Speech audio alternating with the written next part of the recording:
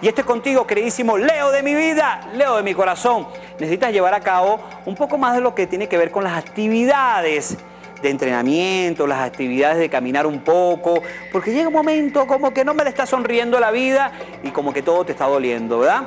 Que no te vaya a pasar como muchas personas que de repente a lo mejor están en una edad de 20, 30, 40 años y se siente como de 100, ¿no? Entonces, eso es muy importante, simplificar un poco tu situación, tu estado anímico, porque esto se habla de limpiar tus toxinas, de limpiar un poco tu cuerpo, lo necesitas en este instante. Llega un momento que también te cansas de tanto luchar y tanto trabajar y de verdad hay que darle un poquito de reposo. Lo necesitas en este instante, en esta circunstancia también que te ha ido pesando un poco en la pérdida del sueño. Tienes así como mucha insomnolencia, no sé, insomnio, has perdido un poco la capacidad de crear tu energía, de captar los mensajes a través de los sueños. Cuando hablo de eso de los sueños, es porque me gustaría muchísimo que hicieras un poco de caso omiso, por favor. Hazle bastante caso a esto de los sueños.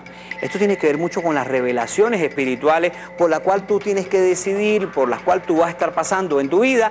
Y hay un hecho curioso muy importante con un enemigo tuyo. Con una persona, sí, vamos a llamarles enemigo. O bueno, no la vamos a llamar enemigo, vamos a llamarle fans equivocados, ¿no? Porque a veces hay personas que se equivocan en eso, ¿no?